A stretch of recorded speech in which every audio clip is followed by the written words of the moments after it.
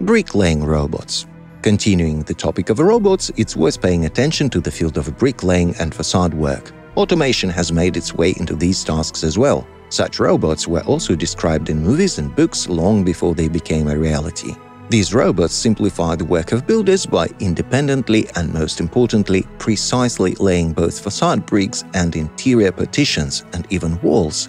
Of course, industrial versions that can build entire buildings in a matter of minutes have not been invented yet. These robots do not work much faster than humans, but they have many other advantages.